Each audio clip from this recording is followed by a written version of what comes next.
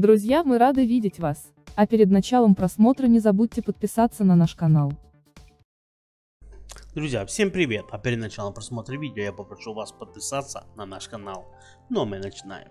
Не успел футбольный мир отойти от смерти Диего Марадонны, как из жизни ушла еще одна легенда Паола Росси. Трагическая новость прозвучала буквально несколько часов назад в прямом эфире итальянского телеканала «Спорт», на котором футболист работал экспертом. Пока близкие Паула не раскрывают причину его смерти. Навсегда. Лишь такую надпись под теплым совместным фотом оставила супруга спортсмена Федерика Капелетти в своем личном блоге. Сейчас семья Росси принимает соболезнования от поклонников спортсмена со всего мира – это очень печальная новость. Паоло Росси покинул нас, отметил в своем твиттер-аккаунте ведущий спортканала Энрико Вариале.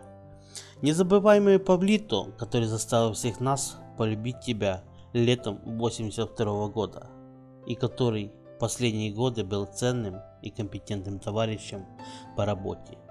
Покойся с миром, дорогой Паоло. К словам Энрико присоединились пользователи сети, многие из которых пребывают в шоке от трагического события. Большое горе, от нас ушел великий чемпион. Прощай, Паблита, без слов. Приношу искреннее соболезнования, семья спортсмена. Я разбита, от нас ушел великий спортсмен. Как же это все несправедливо, поделились некоторыми эмоциями поклонники.